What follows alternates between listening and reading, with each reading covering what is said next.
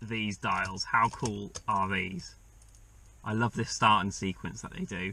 And then when they illuminate, they're just so bright and really clear as well.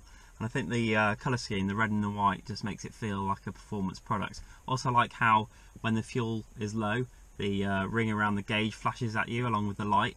And also how there is the legacy script in the dial illuminated as well. I think that's really cool. And then when you turn the car off, oh, look how the red rings stay on and fade. That is just so cool. Just adds a bit of theatre to the car. This car has pillarless doors. Look how cool they are. You know, you, it's really on trend right now with all these coupe-esque SUVs and estate cars and shooting brakes and all that. But look, this is a humble estate car with pillarless doors up front and back. Look at that. Fantastic. Is so cool. This was the last legacy to actually have this, but previous generations used to have pillarless doors as well. I really like this glass roof. It's really big and it's in two parts and opens with one touch. The first part opens as a deflector and the second part disappears into the roof. And because the roof is so tall, you actually have quite a lot of headroom still. I think it's a really nice touch that. It's an estate car. Of course it's practical. This is a really well thought out estate car.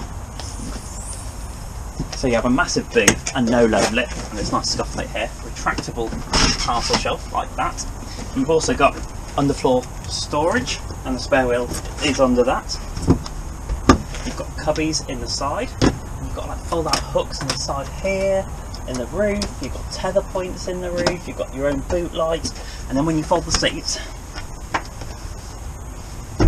they fold flat, as you can see I'm missing a, a bit of trim there. But the seat belts stay on the bolsters here, they don't get caught up in the seats when you fold them. So it's just really well thought out and you've got hooks and stuff as well to mount and tether things too. You may notice the car is a bit battered and bruised in places and that's because it's an old unmarked police car. That was its first life. The third owner and it's missing under trays. It had holes drilled all over the dash and wiring everywhere and I got it and I've removed all that but it's still looking pretty tatty. It's got 178,000 miles on the clock as well. So it's had a bit of a life. One of the engine in this thing, particularly at low revs. Flat 6 is just so distinctive.